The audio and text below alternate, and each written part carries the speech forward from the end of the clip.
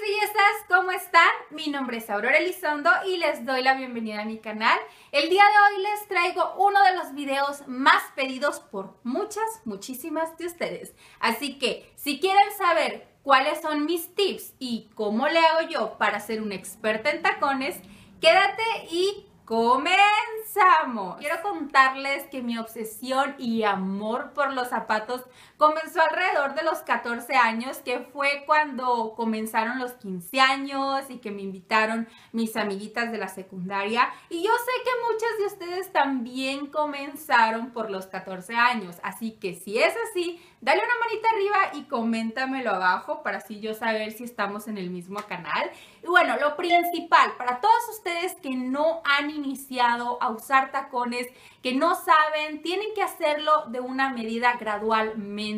Yo comencé con unos muy pequeños y fui aumentando el tacón a uno mediano hasta llegar ahorita a tacones que son muy, muy altos. El segundo punto que yo les quiero recomendar es que usen tacones que estén seguros, así como este tipo de zapato que te cubre casi todo el pie. No uses este tipo que vas a, va a desbalancear tu pie. Este es muy seguro. Yo tenía este estilo de zapatos en la universidad y yo corría distancias muy largas y empinadas, chicas. Era como una montaña y con este tipo de zapatos te protege todo y con estos pues yo los usaba para la universidad. Así que yo te recomiendo que uses este estilo que está un poquito más tapado y no tan descubierto que te dé seguridad al caminar.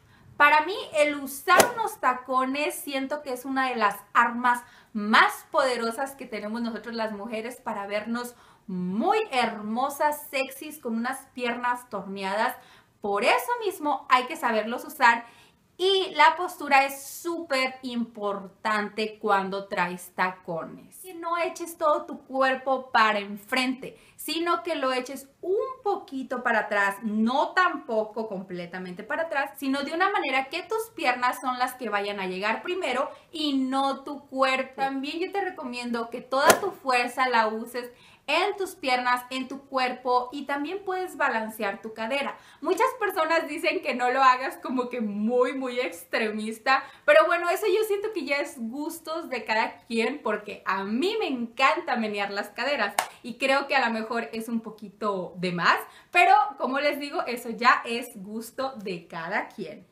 Algo que la gente siempre me ha preguntado es, Aurora, ¿cómo puedes durar desde principio a fin una fiesta, ya sea 15 años, bodas, graduaciones? Yo jamás me he quitado los tacones, ni siquiera en mi boda. Y esto es porque yo no uso tacones nuevos, o sea, no los estreno en ese día. Yo practico y practico y practico en mi casa y los uso y a veces pues los uso en otras ocasiones. Muchas personas dicen que las plataformas son las indicadas como que para dar el siguiente paso. Lo que yo te puedo decir es que hay de plataformas a plataformas y me ha tocado porque yo me siento más segura en otro estilo de zapatos que en plataformas. Por eso mismo escógelas de una manera que no estén tan altas. La mejor manera de que te vuelvas una experta en caminar en tacones es practicar, practicar y practicar. Así que yo te recomiendo que pongas con un gis o una cinta una línea y de ahí vamos a partir para que tú empieces a saber caminar. Pon un pie delante del otro, no los cruces, pero tiene que ir uno delante del otro por la misma raya.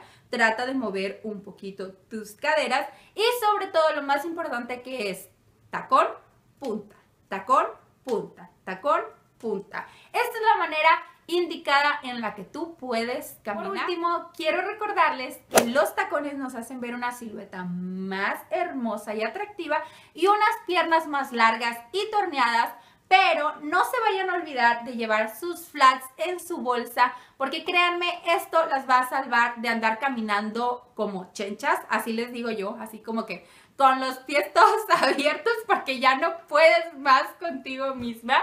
Y bueno, mis bellezas, esto fue todo por el día de hoy. Coméntenme por favor a qué edad ustedes empezaron a usar tacones y qué es lo que más se les dificulta. Yo les quiero muchísimo. Les mando un besote y nos vemos hasta la próxima. Adiós.